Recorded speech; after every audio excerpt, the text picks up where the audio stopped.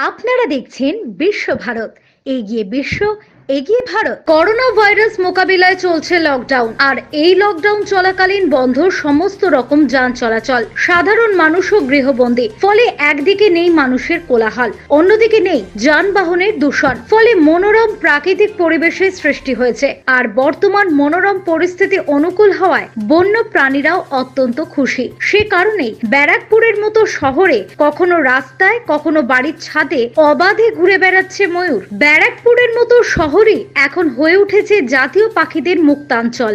কিন্তু এই ময়ূর এলো কোথা থেকে? তা অজানা সকলের কাছে। কিন্তু সুন্দর এই ময়ূরের অবাধ বিচরণ উপভোগ করছেন সকলেই।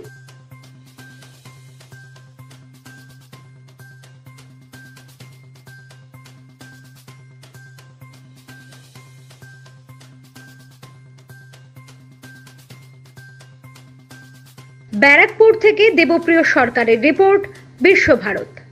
করোনা নিয়ে অযথা ভয় পাবেন না। আতঙ্কিত হবেন না। সতর্ক থাকুন। হাত সাবান দিয়ে অথবা স্যানিটাইজারের দ্বারা ভালোভাবে পরিষ্কার করুন।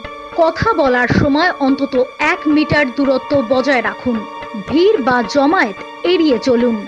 গুজবে কান দেবেন না, গুজব ছড়াবেন না। সরকারি বিজ্ঞপ্তি এবং নির্দেশিকাগুলির প্রতি নজর রাখুন। জ্বর, কাশি, মাথা ব্যথা হলে দ্রুত চিকিৎসকের পরামর্শ নিন।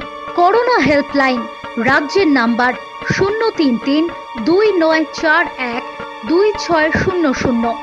কেন্দ্রের হেল্পলাইন নাম্বার এক আট শূন্য শূন্য তিন এক তিন চার চার চার দুই দুই দুই।